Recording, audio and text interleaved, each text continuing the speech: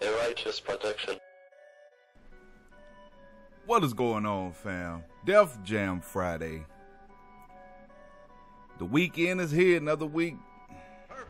Party time. Oh, it's party time. So, this week we got Master P.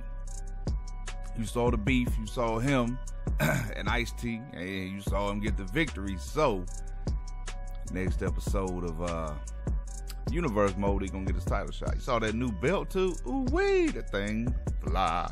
So, Master P move set is is kind of a powerful, not like 50 Cent athletic powerful, just got some good moves in it.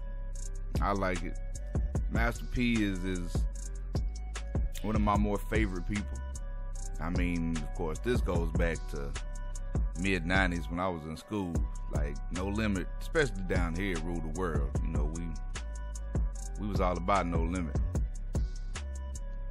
Even had a homeboy. that boy got No Limit tank tatted on his back. I ain't go that far. Don't get me wrong. I love Master P and we rep No Limit, but I wasn't finna do all that. Man, that was what?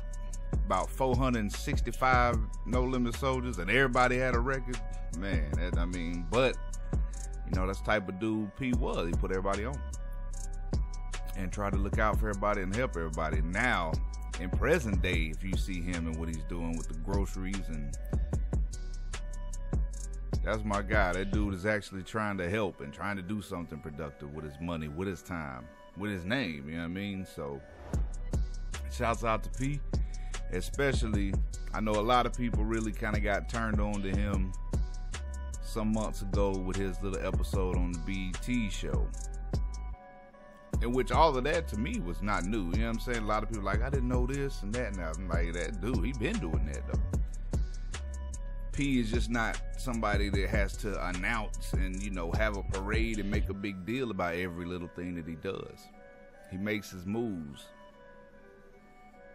You know, we got some quote unquote celebrities that anytime they do anything, especially something that might help some people, oh, they got to make a big deal about it and hold press conferences. Now, you know, P ain't done that. He been behind the scenes making big moves, helping people out and, and doing for people for a long time. You know, P been putting out records since Lord, I believe what 99 Ways to Die, Ghetto Trying to Kill Me. That was late 80s. If I ain't if I ain't wrong, I believe that was late 80s. Maybe right up into the early early 90s, but you know, of course, we know most of it started with with Ghetto Dope and then from there, Ice Cream Man, that was what, 94, 95? So, yeah, you know, he been doing it. And shouts out to him for being a good dude. Y'all know me. Y'all know I like good people.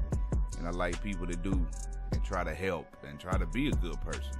And he is definitely he has definitely done that and he's still making moves. Go get your bag of rap snacks, cuz. uh, that boy, he gonna have a grocery store for us all over with. And that's all right. So anyway, like, subscribe. You know what it is, man. Keep it real. Live righteous.